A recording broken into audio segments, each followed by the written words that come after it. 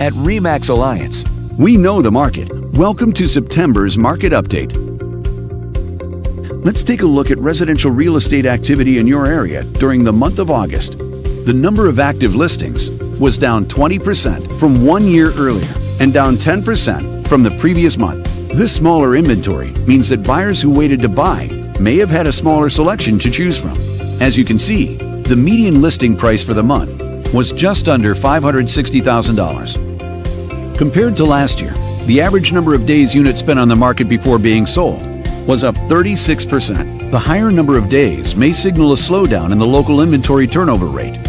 The median sale price was $530,000. The number of units sold increased 30% year over year and increased 29% month over month. These figures may indicate that buyers have been taking advantage of opportunities in this market.